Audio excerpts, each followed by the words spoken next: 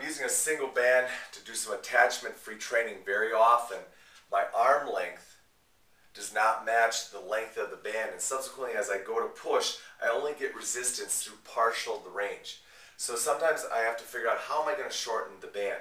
Well, a quick and easy way to go ahead and shorten the band for pushing type movements is to go ahead and use what I call an attach or a, a, a quick hand release or a quick hand attachment. Let me show you what I mean. Take the band around our back. So if we were going to go ahead and do chest presses in this situation, you can see where my hands are already. So I'm really only going to get resistance through the last 20 to 30% of the range of motion. So that said, how can I shorten it? Well, I take my hand through the band. So you can see I looped it through and now I'm going to bring it through and hook it onto my, between my index finger and my thumb. I'm going to do the same thing on this side. I'm going to loop my hand through and then go ahead and hook it on.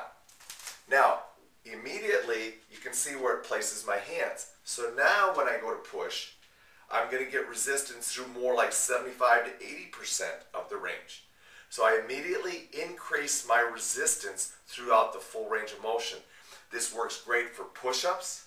This works great for any kind of pushing. If you're going to go to overhead pushing, normally that's not a problem. But if you want to go to a single arm push, again, loop your hand through, take it through, and now you're going to get resistance through the full range of motion on your overhead presses. So this quick little hand loop setup where you take your hand through the loop, hook it on your index finger and thumb, and ready to push is a nice quick way to go ahead and shorten your band increase your resistance throughout your full range of motion, and allow your workout to be a lot more intense.